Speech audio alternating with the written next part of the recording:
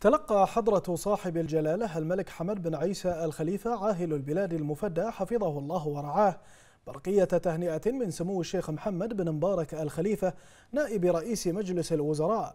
رفع فيها إلى المقام السامي لحضرة صاحب الجلالة ملك البلاد المفدى أسمى آيات التهاني والتبريكات بمناسبة الذكرى الحادية والعشرين لإقرار ميثاق العمل الوطني.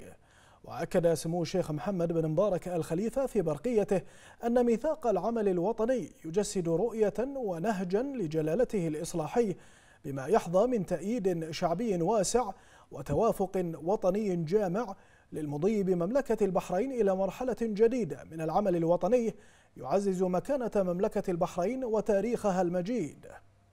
كما أكد سموه أن إجماع شعب مملكة البحرين على هذه الوثيقة التاريخية جاء تأكيدا لتلاحمه وإيمانه بقيادة جلالته الحكيمة نحو تحقيق ما يصبو إليه من طموحات وإنجازات في مختلف مجالات التنمية الشاملة.